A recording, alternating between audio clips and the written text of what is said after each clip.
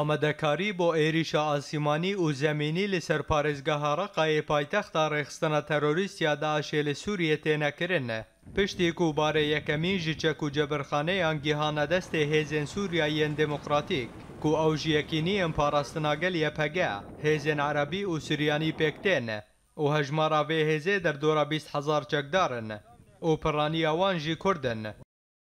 Hîn dema destpêkirina vê êrişê nehatiye xuyanîkirin, lê tevî vê yekê bi dehan ji malbatên bajarê Reqayê dest bi penaberetiyê kirin.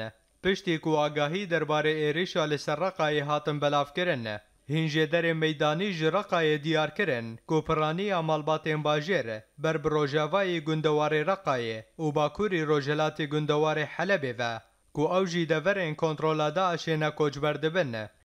Ji aliyekî din ve jê derekî mafdariyê da zanîn ku rêxistina DAIŞ'ê di vê demê de ji xort û keçên bajarê Reqqayê yên ku temenên wan kêmî hejdeh salan e dixwaze ku vegerin navendên polîs û leşkerkirinê yên girêdayî wê heman jê derî da zanîn ku rêxistina DAIŞ'ê bi vê gavê dixwaze ku zarokên temenên wan jor çardeh salî derbasî jiyana leşkeriyê bike.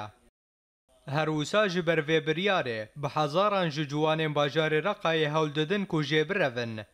Lê ew rastî rêbendên çeteyan li rojavayî gundewarê Reqayê tên û mijûl dibin ku vegerin bajêr. Hevdem li ser operasyona rêzgarkirina Reqayê hîn alî dibînin ku divê amadekariyên xurt bêne kirin û dê ziyanên wê mezin bin eger êlên erebî yên Reqayê beşdarî hêzên Sûriya Demokrat nebin. Ji ber ku tê zanîn ku pirraniya êlên Reqayê ji ber metirsiya ku DAIŞ tolhildanê bike, ew tevî vê rêxistinê bûne.